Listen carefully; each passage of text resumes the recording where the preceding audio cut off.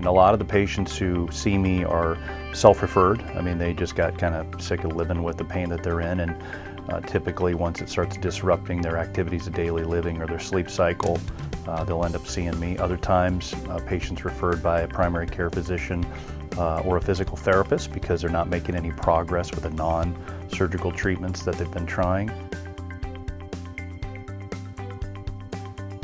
Common things that I'll see here in the office doing nothing but shoulder surgery is shoulder arthritis, rotator cuff pathology, whether that's rotator cuff tendonitis all the way to a massive rotator cuff tear. So there's a whole spectrum of disorders with the rotator cuff.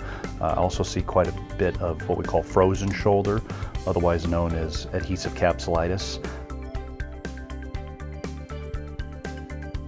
Shoulder replacement surgery is what I specialize in. I've done approximately a thousand shoulder replacements in my 14-year career. Typically, these shoulder replacements are done for people with either severe arthritis of their shoulder um, or something called rotator cuff arthropathy, which is people who have massive rotator cuff tears that can't be repaired.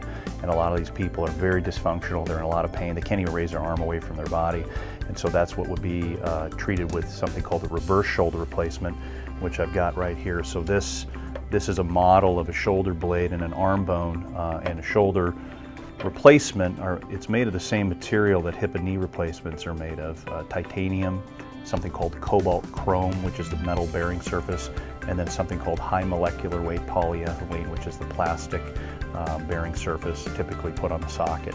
So a reverse shoulder replacement is designed for people uh, for certain situations in the shoulder, and then there's something called an anatomic total shoulder replacement, which is designed for people who have arthritis with an otherwise normal shoulder, an intact rotator cuff. And so same concept, you replace an arthritic ball and socket with a metal ball and a plastic socket. They're just designed a little bit differently for different situations. Um, and it's probably half and half what I do, reverse shoulder replacements versus anatomic shoulder replacements.